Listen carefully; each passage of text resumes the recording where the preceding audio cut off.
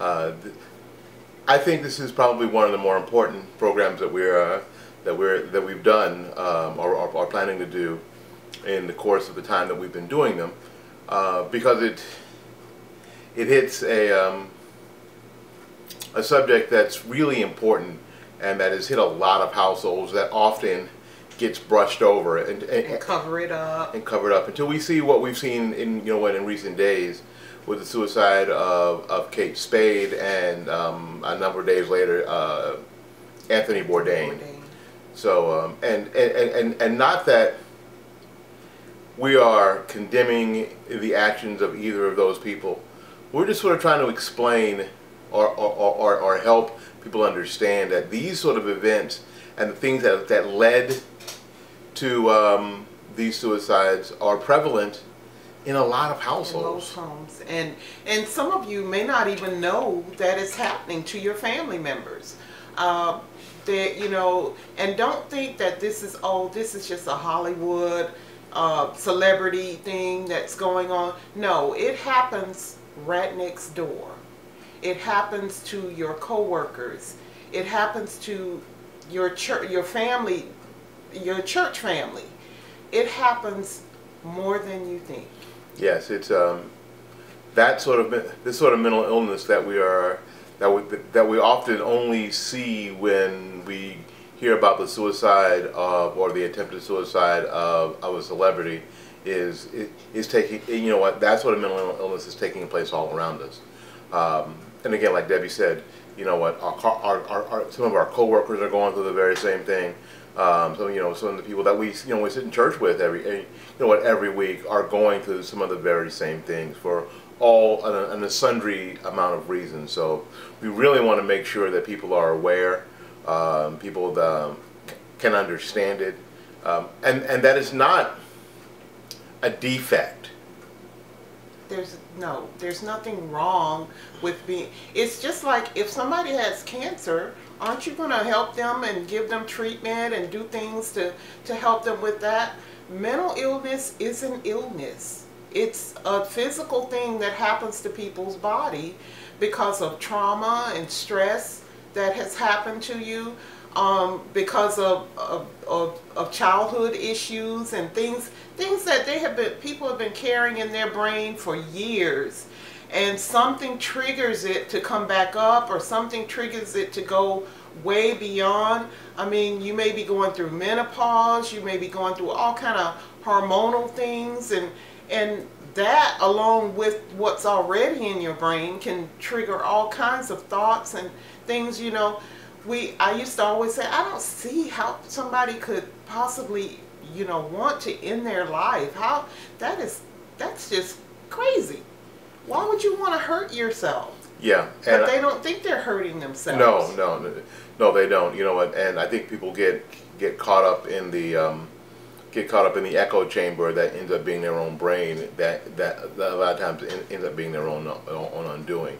Um, and sometimes people have chemical imbalances that are real physical reasons mm -hmm. uh, why they end up in deep depression, why they end up um, deciding um, that the world, and, and, when we hear this all the time, that the world will be better off without them, or they're in such pain that that's the only that's the only way they that, that, that they see out of their pain, um, and um, you know, frankly, we we have you know, and people when we're talking about um, Kate Spade and, and, Anthony Bourdain, there are 20 to 22 uh, veterans that commit suicide in this country every single day. Yes. Can you imagine? Every single day they commit suicide. Um, obviously, most of them are victims of PTSD, um, which is, and, and, I, and I'm going to talk about that a little later because PTSD isn't just regulated to people from who, who have experienced combat. Um, you can, uh, they're also, I mean, it's, it's post-traumatic shock um, uh, syndrome. That's yes. right. Okay. Regular life issues can, can cause into P PTSD. PTSD. So. Um, Traumatic stress from uh, from illness. Illness.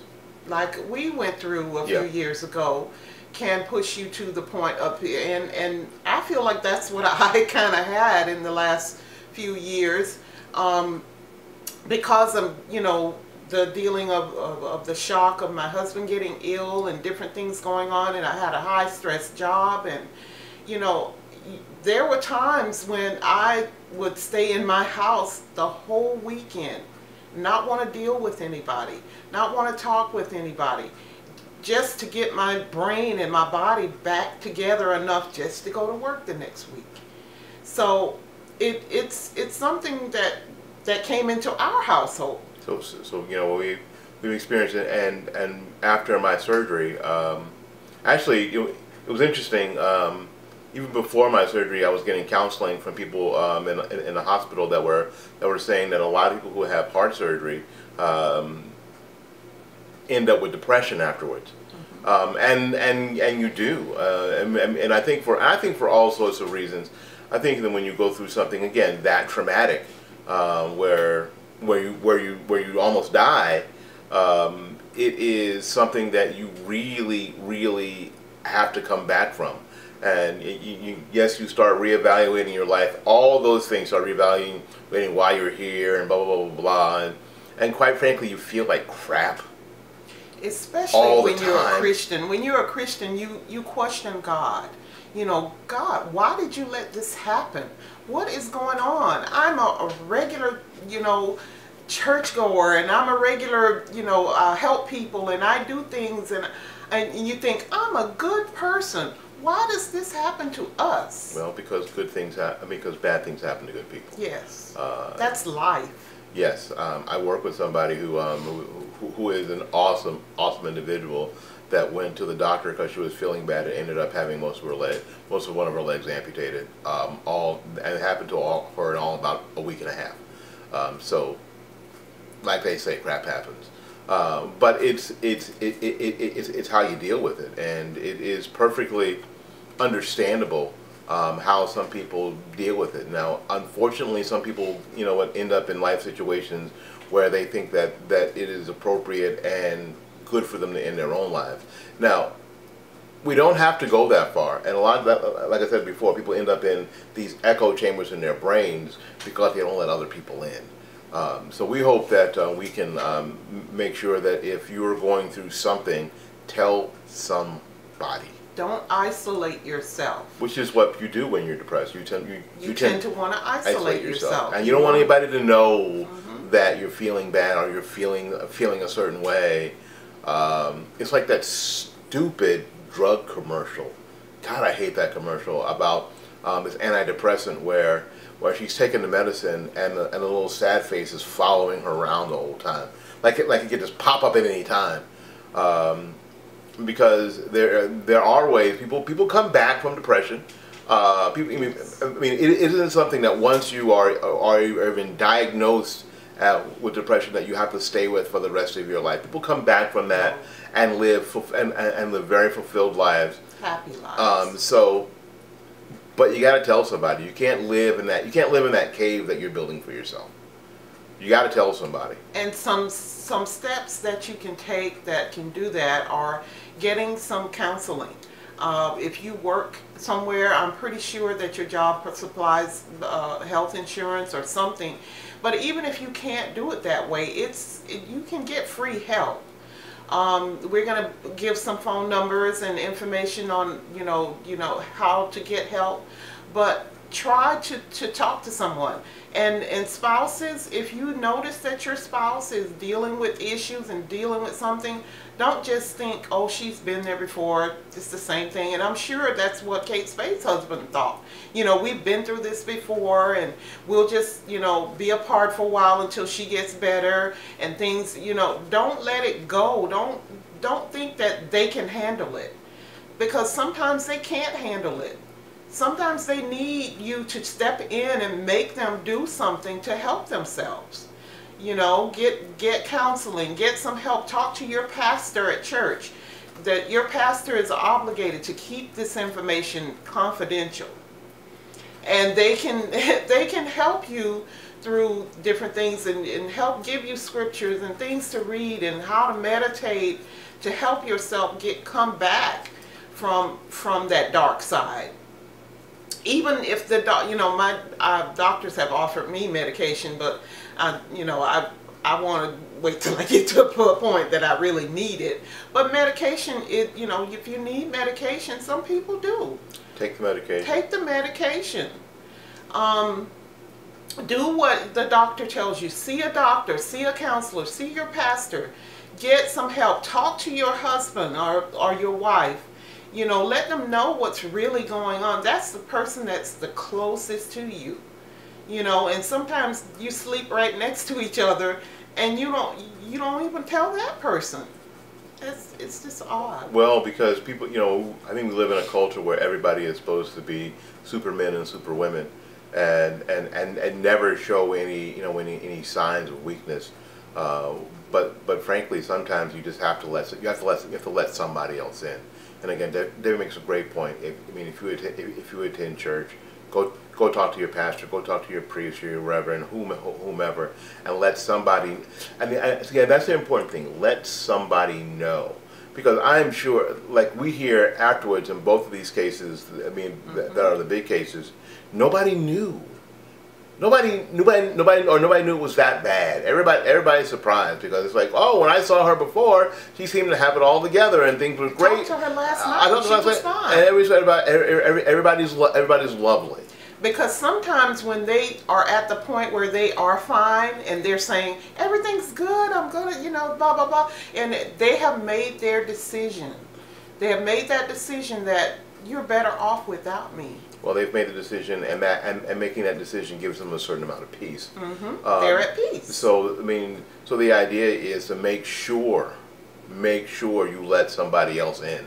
Uh, if you're, you know, if, you know, if somebody, if, if you guys are feeling a certain way, um, and you know what, and not every case of is that severe of the blues, as we call it, is you know what can necessarily lead to suicide and I understand, and you know what, and and I know some days you're just not feeling it. Mm-hmm. I get it. Some days you're like, I don't want to deal with you know, the world. I don't want an adult. I don't want to be an want, adult. I don't want a Monday today. You know what? I and and that's you know what, and, and that's normal. And that's normal.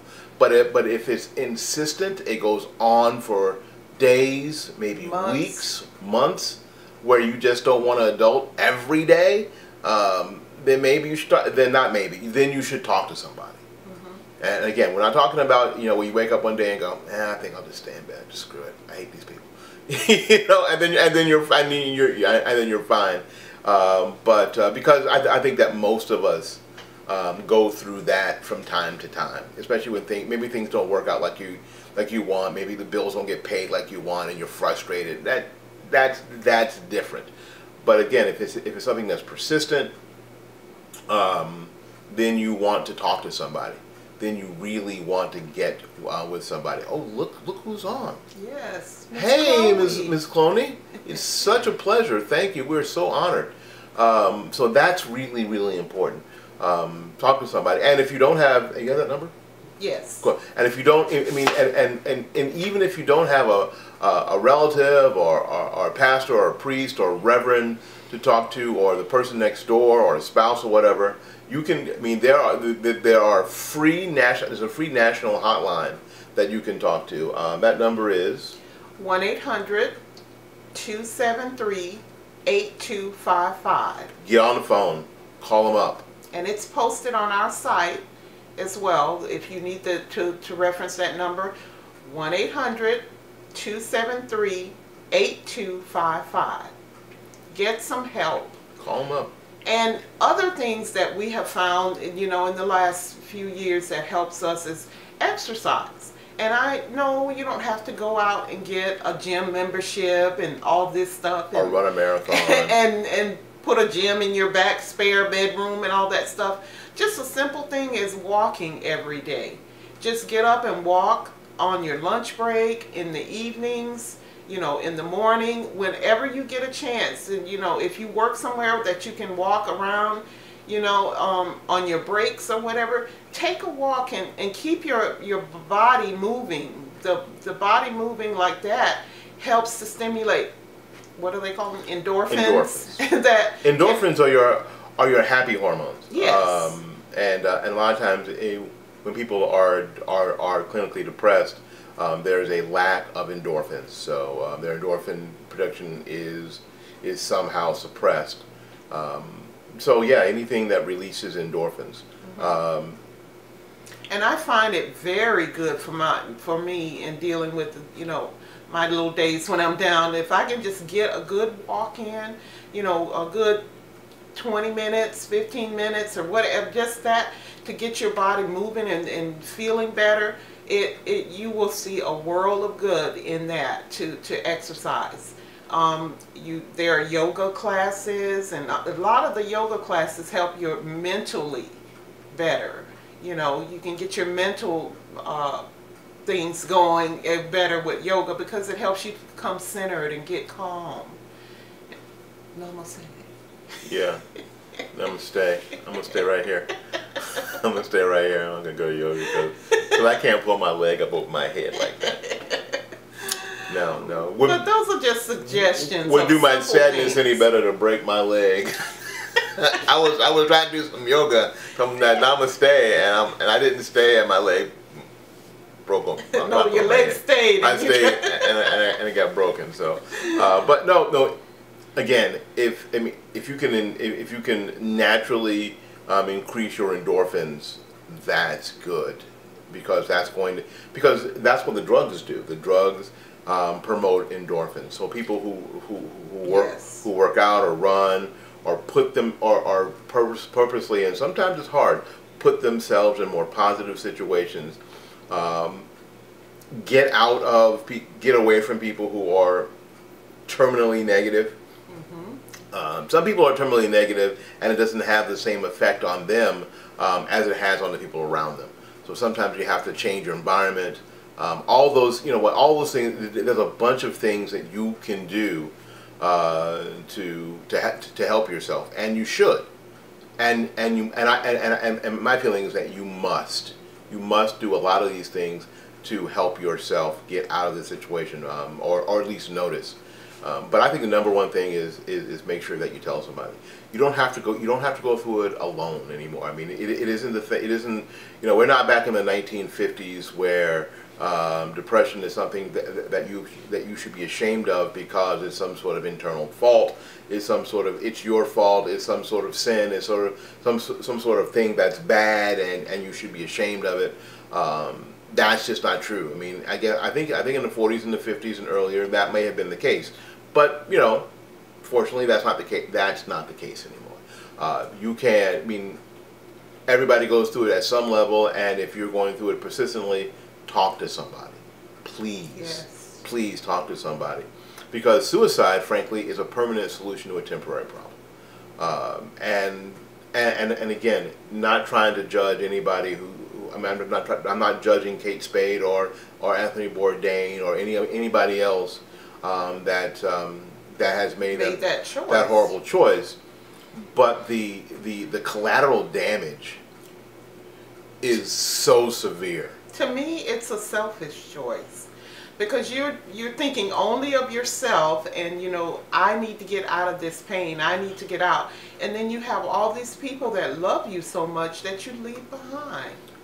You crush it, you I mean you damage your children in a way that they never recover from. And we see and we see all and, and you see all the time. Again I'm not judging people I'm just I'm just sort of giving you what examples. what we see what we see. We, you know, you see children of, of, of people who have committed suicide commit suicide.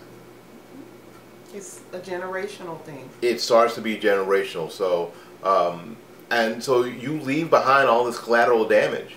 Uh, your friends who are crushed when they find out that you've killed themselves, your coworkers who love you find out that you've killed yourself, I mean, find out that you committed suicide, they're crushed. Um, so and that's really, you know what, and and, and I, I know when you're in it, that's really hard yeah. to see. It's hard to see I when understand. you're dealing with, you know, feeling that way, and you know, you don't see a way out. Um, there is a way out. Always know that there is a way out, and and people really care. You know, people care. And and and I think that's what the echo chamber says to people that they don't care, but people do care people do care. Um, and there are people out there who want to help.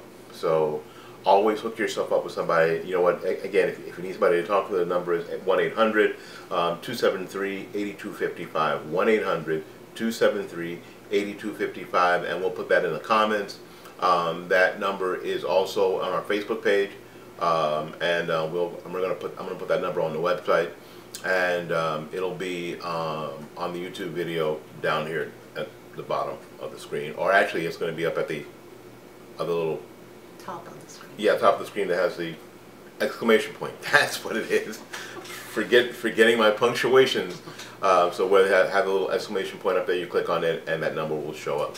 And I want to say that even if you uh, want to, to communicate to us and send us an email with additional help that you want, um, you know, want more information on what the things that, some of the things that we did to, to overcome our depressions and our um, anxiety and, and you know, I would, I'm pretty sure that neither, neither one of us was at the point of thinking of suicide.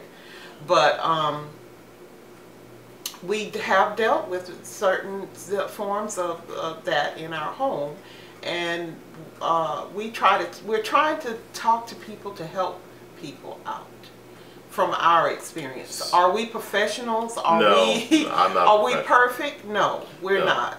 But if you've got, you know, a questions about maybe where to seek help, uh, where appropriate to seek help, you know, you can you can direct message us, message us here.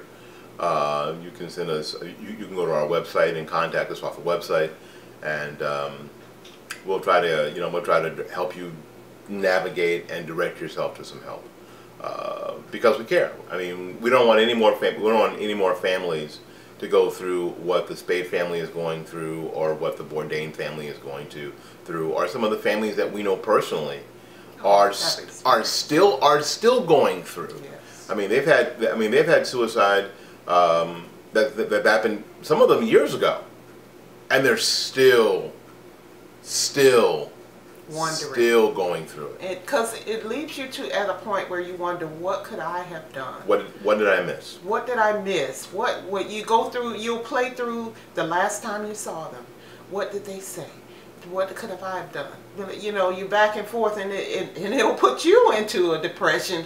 One trying to figure out what you could have done to save them. Yeah. So, again, there there is so much collateral damage. So if you know if if we're the only people that you can that, that you can reach out to, again, we are not mental health professionals by any stretch of the imagination, but but we but, but we are willing to, to help you you know navigate to some help.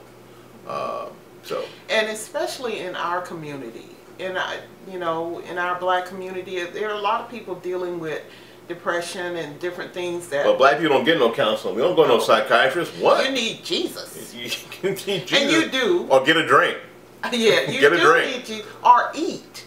I'm sorry, but we do. We tend to eat our way, and and sometimes that's a gradual suicide. People, I'm I'm getting kind of ugly here, but you know we tend to to take drinking. We you know you know we laugh about it and stuff like that. Oh that's uncle blah blah blah. He just drink he just drinking. Uncle got some issues why he's you know maybe he went to vietnam or something like that. A lot of times they're drinking People's, to cover that up. people self people in general self-medicate. self-medicate um, and medicate themselves they, with overeating. And they do drugs and whatever. Uh, they self-medicate to, to sort of cover up what else is going on um, you know, Uncle Joe may, you know, may he, he, you may see him drunk a lot, but maybe, maybe Uncle Joe, hey Priscilla, um, maybe in a situation where he was in Nam or he was in Korea mm -hmm. and has P has undiagnosed PTSD, and um, he's just dealing with it the way he knows how. And because we, I mean, and stays, you know, and stays, you know, with with a certain amount of um, split malt liquor in his veins to ease the pain. So again, this this is something that a lot of people go through. I mean, this is not anything that is that is that is left just with celebrities. Um, that's that's that, and, and, and it's for it, it happens to everybody. It happens to every household, and I'm sure that most people who are watching now can look at some examples of the people that they know personally, and go, "You've seen that." Mm -hmm. And if you have, say something. Reach out to people reach out to people. If you haven't seen them in a while, you haven't heard from them in a, while, they've, they've isolated themselves, um, and you know they're going through something, call them Call them. Call Find 'em. out where they are. and say, hey, I'll, you know what, I love you. I was thinking about you, uh, and I'm here. it doesn't cost anything to give them a call. Nope. Text them. You know, just just find out what's going on. Find out what's up. Find out what's up. Yeah, and then again, that number is, and again, we're going to put it in the, in the description. We're going to put it in the, in the description box on, on, on, on the YouTube video. Um, by, yeah, by, by the way, um, we're going to, uh, we're actually recording, yeah, see, it worked. Um, we're recording this uh, to, to put up on YouTube, so um, so it'll be in the, in the description box down there. The the 1-800 National Suicide um, Prevention number is 1-800-273-8255. So, uh, and, and, and there are and, and there are low and wherever you are, there are local people, um, maybe at your county um, health services that deal with this kind of stuff.